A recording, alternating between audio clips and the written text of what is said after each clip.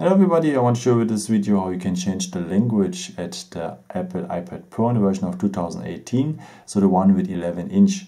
So, and uh, let me tell you, also if you have a language you don't understand or maybe also letters you don't understand, it will be always on the same position. So just follow the instructions carefully. So first of all, we go to the settings, it is that symbol here, as usual.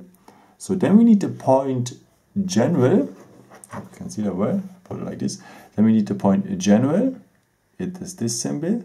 And here on the side, we have here the point language and region. So it's the block here with four topics.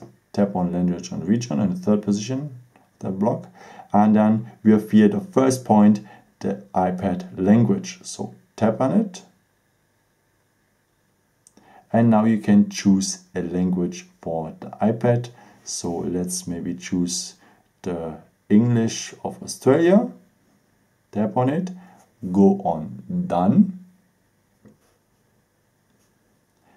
Go on Continue.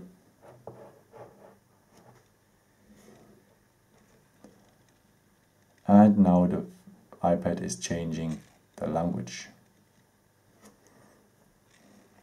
Yeah, thank you so, so much for watching this video. I hope I could help you with it. And uh, yeah, if you want, you can leave me a nice comment or give me some thumbs up. Would be very helpful for more videos. Uh, thank you so, so much for. And yeah, I've created some other videos if you're interested in or maybe subscribe me. Will be a pleasure to see you again and maybe until next time. Ciao.